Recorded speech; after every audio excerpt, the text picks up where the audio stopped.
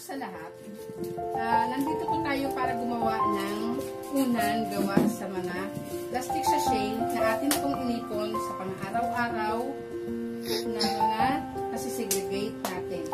Ito po ay napapaloob pa sa RE 9003 Ecological Solid Waste Management Act of 2000. Ang ating pong mga plastic sachet ay kailangan sa bahay pa lamang ito po ay hindi na mapapunta kung saan-saang lugar. Kasi kapag ito po ay napunta sa mga ilog, dagat, at saka mga creek, mag- magbubunga po ito ng malawakang pagbaha. Dahil ito po ay hindi nabubulok sa loob ng 50 years, ito ay plastic pa rin po. Ah, mahirap po ito matunaw.